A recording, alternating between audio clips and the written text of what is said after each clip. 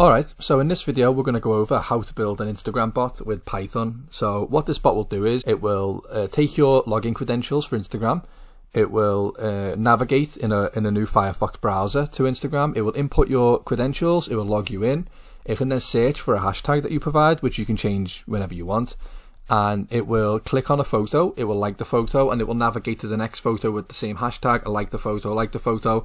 You can modify this for comments as well, but I think that's a little bit spammy. And bear in mind, I don't know what the legality of this is with Instagram's terms of service, so if you do this on your actual account, you might get banned. I'm not sure what it is. This is purely for educational purposes, and you might get a few followers off it. If it's legal, that's something you're going to have to research because I don't really use that on my account. Um, so what we're going to do is in Sublime Text, which is my text editor of choice, I'm going to create a new uh, file and I'm going to call it instagram.py, which is a Python file. And for all those people who've been programming in Python for a while, I've been doing it for literally a week or two. So if you notice something and I write something in a weird way or I do something in bad practice, leave a comment and let me know. But please don't judge me. Uh, I'm not necessarily as good in Python as some other languages. Uh, so to start off with, I'm going to, um, we're going to have to import some things. So if I open up my command prompt in Windows, I'll navigate to the file. So in my case, it's in users mark desktop Python. And you do that with the CD command in Windows or your relevant command for your operating system and navigate to the file that your um, Instagram file is in. What we have to do is we rely on something called Selenium for this, which is something that you can use to navigate the web with Python. And the way you install that is just do pip install Selenium Ian. Uh, I already have it installed, so I'm not going to run this, but that is a prerequisite for this. And you're also going to need something called Gecko Driver, which if you give that a Google on Windows, you can download an exe file. So to get started, first thing I'm going to type is from Selenium, import WebDriver, which I'm told is what you can use to navigate the web with. So again, I don't have that much information uh, on the on the on the why. This is just necess- this is just the how. So then also from Selenium, I'm going to import, okay, now so from selenium dot webdriver dot common dot keys.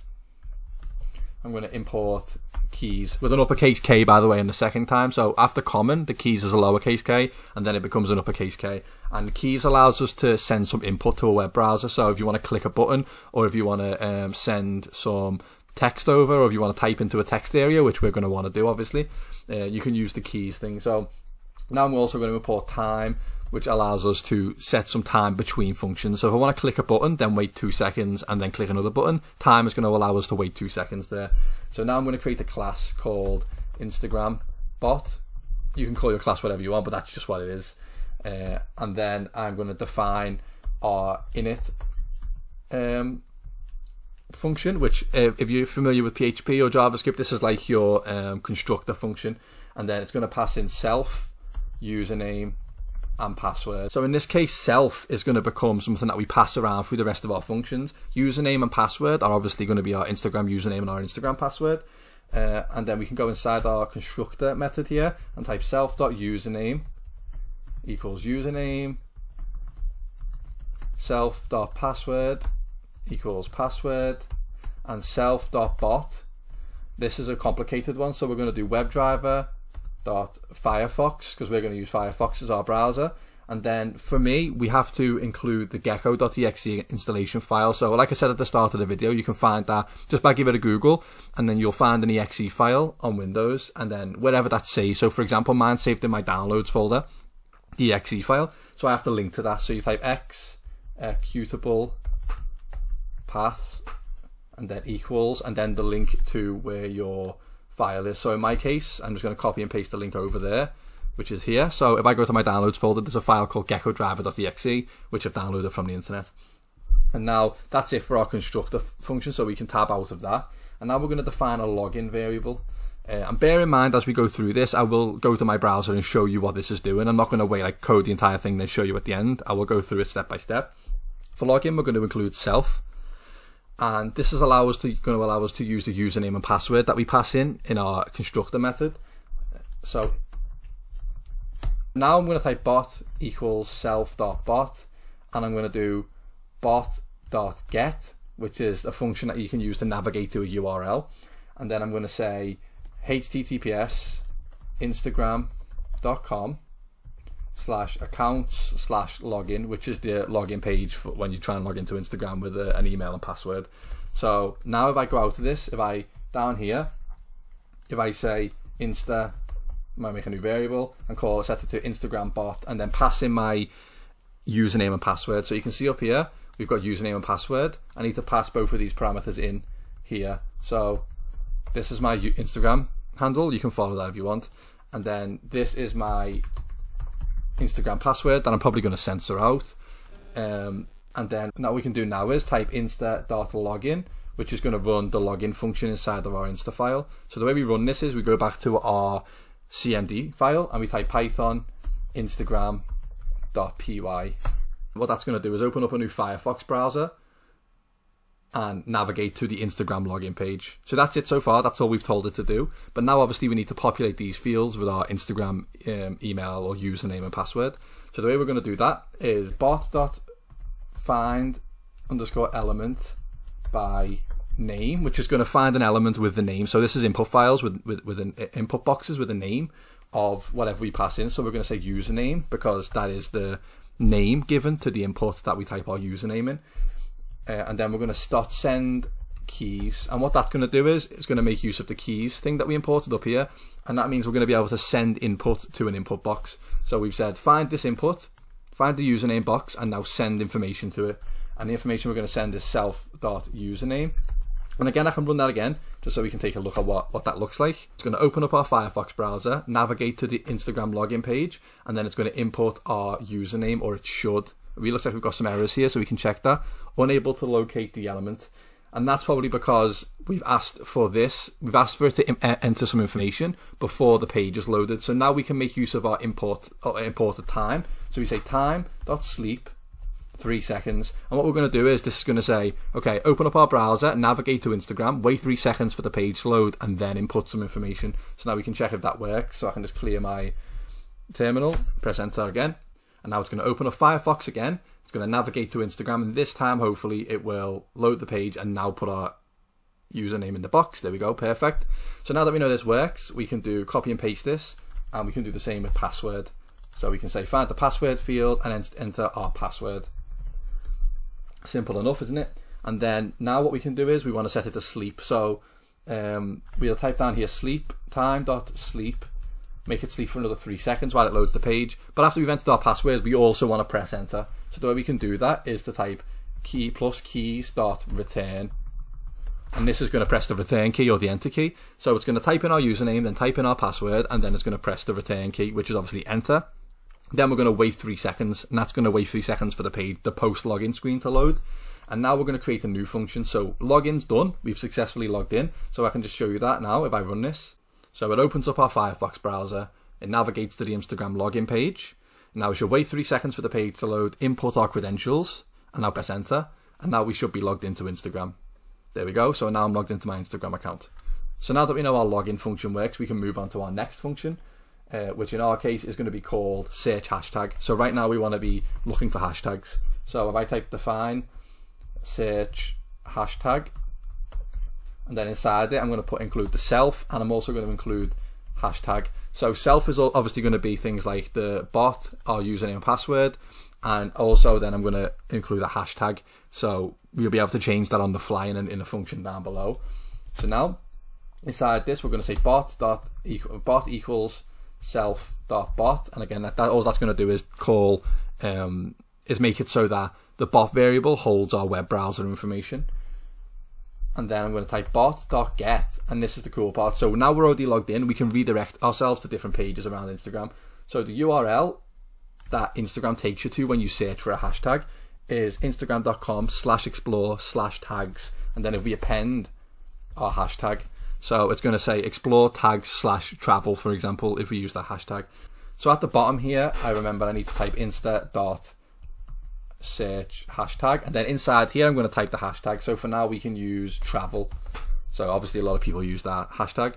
And now I can save and run this again.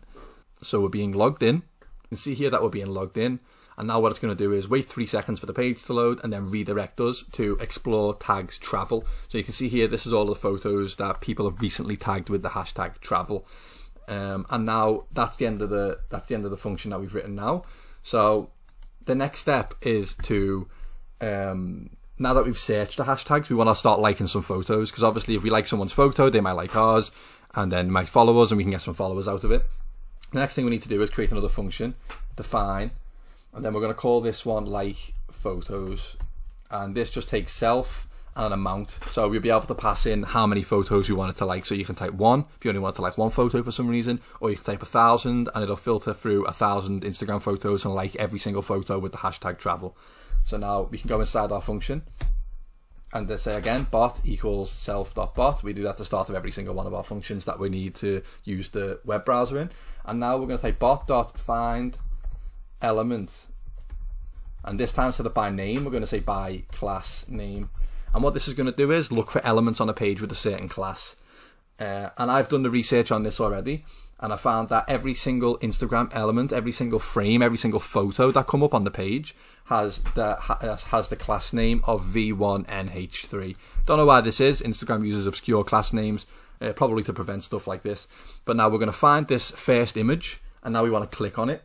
So we can say dot click, and what that's going to do now is at the bottom here, if I append insta dot like photos and then one, for example, just for now, when you want like one photo. Um, so now if I run this, okay, so we're going to be redirected, we're going to be logged in,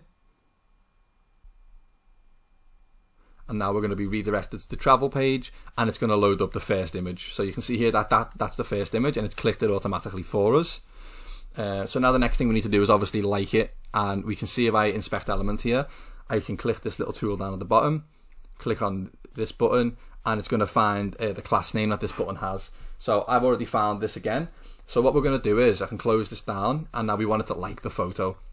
So we've clicked the button and now I'm going to say i equals 1 and now we're going to do a loop because we want to loop through every single photo.